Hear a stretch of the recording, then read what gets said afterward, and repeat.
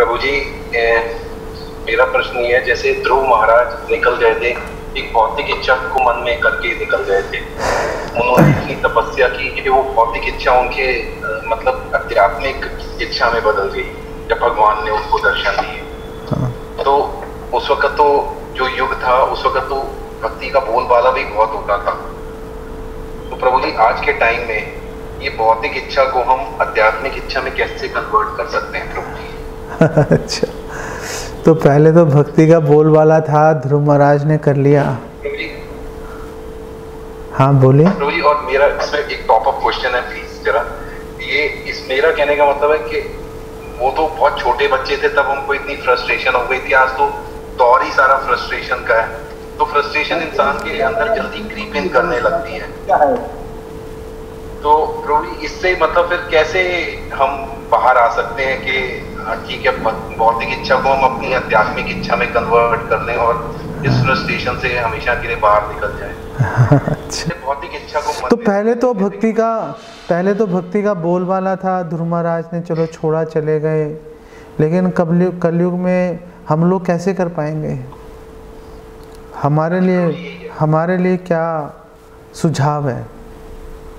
तो कलयुग में हम लोग कैसे कर पाएँगे? तो पहली बात है कि कलयुग में जो भक्ति करने वाले हैं, दो तरह के लोग हैं। एक जो गृहस्थ हैं और दूसरे जिनका विवाह नहीं हुआ है।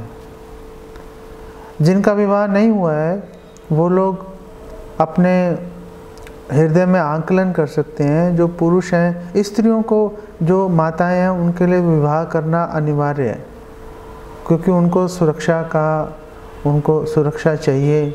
और वो सुरक्षित वातावरण में रह के भक्ति करना उनके लिए वो कोई विकल्प नहीं है।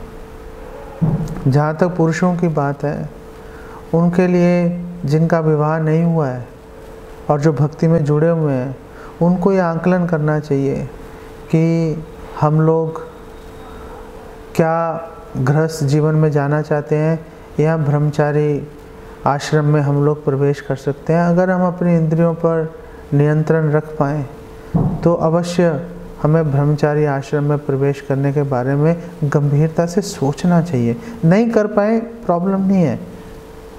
नहीं कर पाए, शादी कर, की जा सकती है, लेकिन उसके बारे में सोचना ज़रूर चाहिए। ब्रह्मचारी ट्रेनिंग हमें अवश्य लेनी चाहिए। अब बात करते हैं गृहस्थ भक्तों की। जो गृहस्थ भक्त हैं, चारों तरफ़ से समस्याओं से घिरे हुए हैं। भागवतम के बिल्कुल शुरू में बताया गया है। कि मंद सुमंद मत्यो मंग, मंद भाग्य ही उपाद्रता। कि दिमाग भी कमज़ोर है, मंद भाग्य भी है, हमारा भाग्य भी कमज़ोर है, दुर्भाग्यशाली हैं हम लोग। और फिर चारों तरफ़ समस्याओं से भी घिरे पड़े हैं तो कैसे होगा? और फिर कैसे होगा?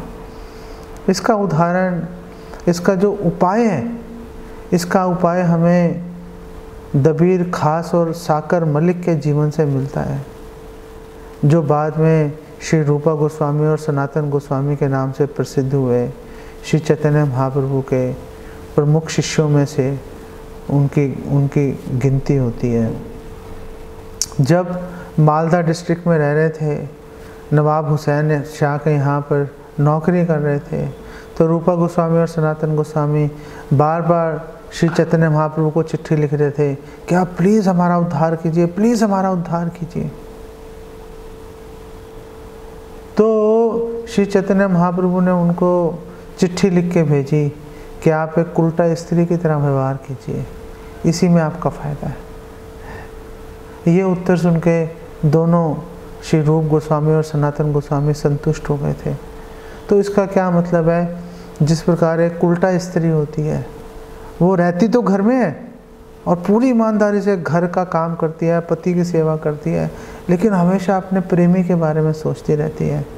ऐसे ही जो गृहस्थ जीवन में भक्त रह रहे हैं, उनको भी एक उल्टा स्त्री की तरह व्यवहार करना चाहिए और अपने जो उनके कर्तव्य हैं, जो उन्होंने पूरे होशो हवास में उन्होंने स्वीकार किए थे, उन कर्तव्यों का निर्वाह करते हुए पूरी ज़िम्मेदारी से उनको अपने हृदय में सदैव भगवान की भक्ति के बारे में, भगवान को संतुष्ट करने के बारे में सदैव सोचते रहना चाहिए और ये भी सोचते रहना चाहिए कि इस प्रकार से योजना बनानी चाहिए कि समय आने पर वो इससे बाहर भी निकल पाए, ग्रस्त जीवन में प्रवेश करके उसी में ख़त्म ना हो जाए, वानप्रस्थ के बारे में भी सोचें, उचित आयु आने पर और तीर्थ स्थान की यात्राएँ करें।